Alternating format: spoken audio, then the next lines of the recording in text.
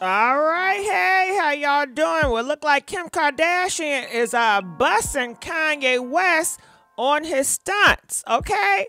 Yeah, Kim Kardashian is busting up in this room. And uh, she said, please stop with this false narrative.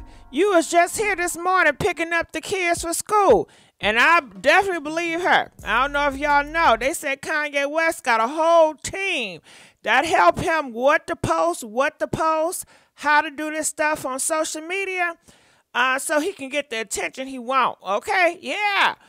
Uh-huh. And uh, this is what Kanye West says. He put these masks up. It's, it look like masks.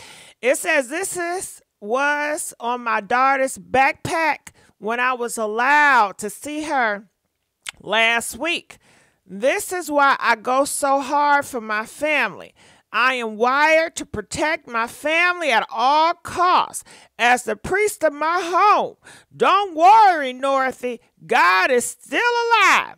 I just think that he used Christian and all that um, for his propaganda or whatever he pushing.